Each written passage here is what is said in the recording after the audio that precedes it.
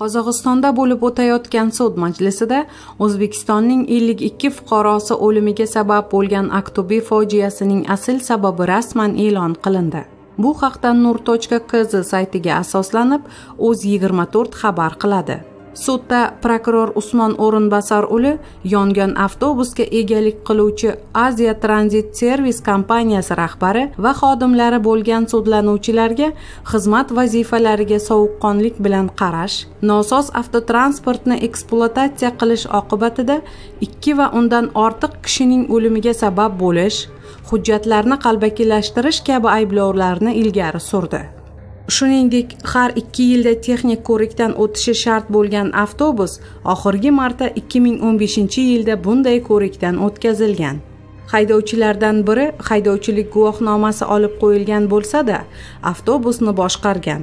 Avtomexanik bahodir perdibayev esa nosoz avtobusning xizmat ko'rsatishiga ruxsat bergan.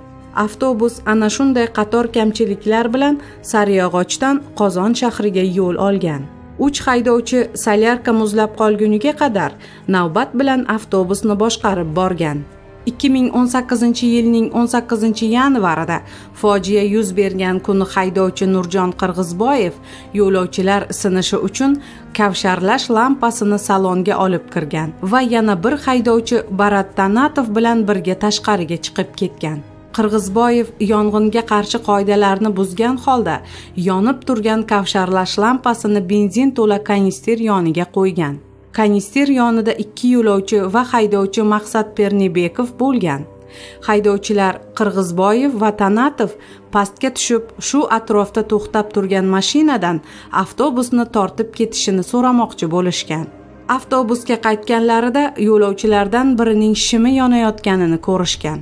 Yo'lovchi tashqariga otilib chiqib qorda kiyimini o'chirmoqchi bo'lgan. Bu paytda avtobus portlovchi gazlar bilan to'lib qolgandi. Portlashdan bir necha soniya oldin yo'lovchilardan biri va haydovchi maqsad pernebekov salondan chiqishga muvaffaq bo'lgan. Lekin ularning oyoq qo'llari kuygan. Portlash sodir bo'lgan va ikkinchi qavatdagi 52 yo'lovchining barchasi tiriklayin yonib ketgan degan prokuror sud majlisida. Ekspertiza xulosalariga ko'ra ular is gazidan zaharlanish va kuyish natijasida halok bo'lgan. Mazkur fojia bo'yicha sud majlisi 3 sentyabrda boshlangan. Unda marhumlarning yaqinlari ularning halok bo'lganiga ishonmasliklarini aytgandi.